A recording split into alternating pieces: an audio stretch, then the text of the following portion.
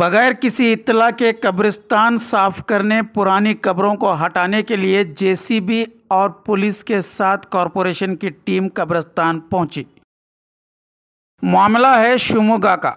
शिमोगा के सवाई पालिया इलाके में वाका पुराना कब्रिस्तान जो तकरीबन 400 साल पुराना है, जहाँ दैरीना मज़ारें हैं।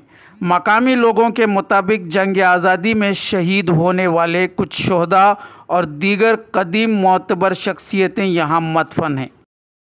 हालाँकि एक लंबे अरसे से अब यहाँ तदफीन की कार्रवाई नहीं हुआ करती, अब इस कब्रस्तान पर कॉरपोरेशन की नज़रें टिकी हैं।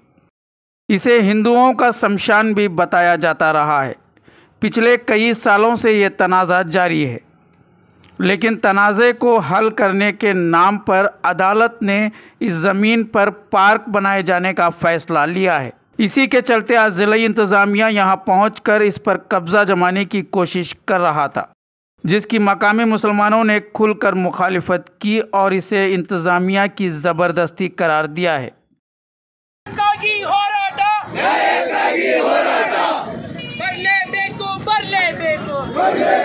ಬರಲೇಬೇಕು. ಜಿಲ್ಲಾಧಿಕಾರಿಯವರು ಬರಲೇಬೇಕು. ಜಿಲ್ಲಾಧಿಕಾರಿಗಳು ಬರಲೇಬೇಕು. ಬೇಕೇ ಬೇಕು. ನ್ಯಾಯ ಬೇಕು ಬೇಕೇ. ಬೇಕು ನ್ಯಾಯ ಹೋರಾಟ. ನ್ಯಾಯಕ್ಕಾಗಿ ಹೋರಾಟ. ಯಾತಕ್ಕಾಗಿ ಹೋರಾಟ. ನ್ಯಾಯಕ್ಕಾಗಿ ಹೋರಾಟ. ಎಲ್ಲಿಯವರೆಗೂ ಹೋರಾಟ. ಎಲ್ಲಿಯವರೆಗೂ ಹೋರಾಟ. ಬೇಕೇ ಬೇಕು. ಬೇಕೇ मुसलमानों के मुताबिक दस्तावेज़ात में मुसलमानों के कब्रस्तान होने की बात साफ़ मौजूद है।